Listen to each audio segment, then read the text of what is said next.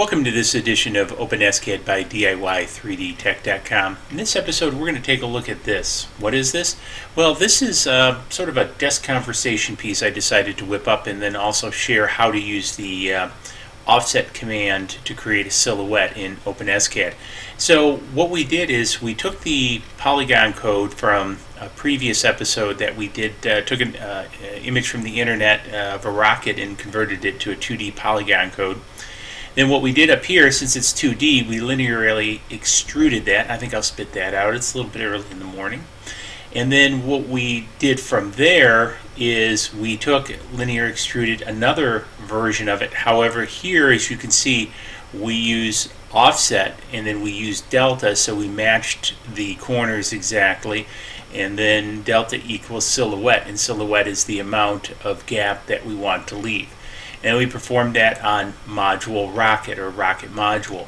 So this is one of the things kind of tip number one is I like to embed my polygon data into a module. So therefore I can just work on that module and call it as many times as I want.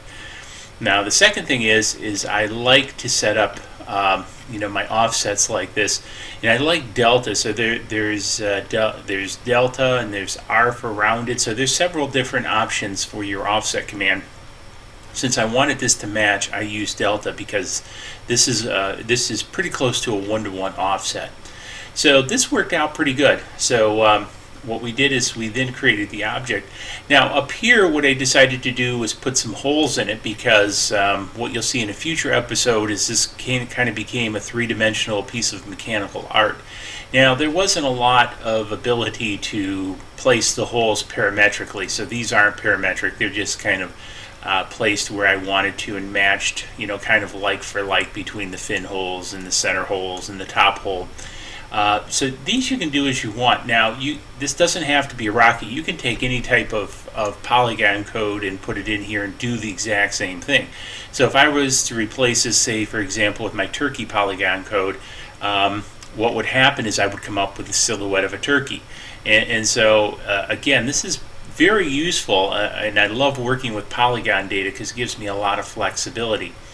Um, so outside of that, it's pretty straightforward. So I did create a little bit of parametricness, goodness here, if you will, for the object itself. But again, this, the screw holes, I, I didn't want to get too fancy and try to, you know, make them into something parametric because I would have to guess to do that would have to read the polygon data, and that just uh, got a little over the top. Maybe in a future episode or something, I'll try to sort that out. Uh, but for now, I uh, just kind of wanted to share this with you and kind of focus on uh, the goodness of the offset command and what you can do with polygons and that kind of stuff. So, uh, tell you what, let's see how this all comes together. So, we're going to head over, take a look at the time lapse of this printing, and then we're going to come back to the bench and take a look at the end product. So, I'll see you over there.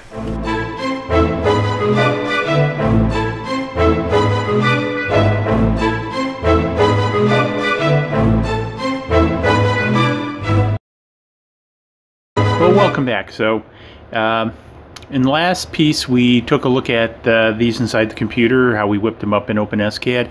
Then we took a look at them printing, and now here they are. So I've printed out several, and uh, I'm going to use these in another project on the DIY3DTech.com channel. If you're not subscribed to that channel, I'd also suggest checking it out.